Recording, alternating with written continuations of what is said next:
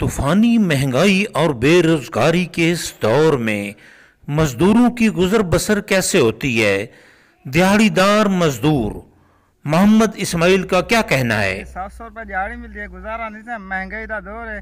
क्या करूँ, परेशान ऐसे घर चूल्हे भी नहीं चलता परेशानी महँगाई है बेरोजगारी है। एक दिहाड़ी लगती है अठ दिहाड़ी लगती क्या नहीं?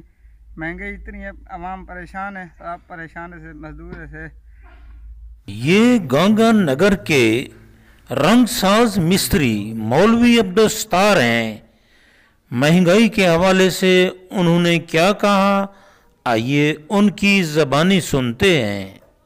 महँगाई से ज़ोर दिए हज़ार पैसे जाड़ी मिलती सी औखा गुजारा थींदे सी।